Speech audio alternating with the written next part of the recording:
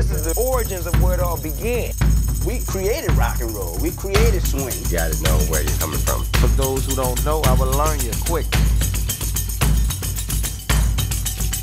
It's been passed down for many, many years from Congo Square when the slaves used to play on Sunday. And you had different groups, the rhythms and the music of their home country.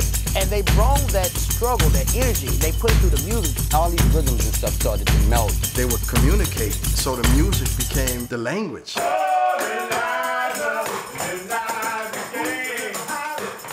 One thing that made people realize that we had to take the culture more seriously was Katrina. The scene is nothing short of apocalyptic. 80% of New Orleans is underwater. There's a lot of negative things you say post Katrina, but I like to look at the positives. We all just stick together.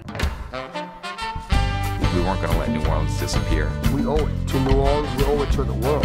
Keep it going. We'll always pass down the knowledge, but what are we doing with this gift of music? How are we going to move people and change our blocks?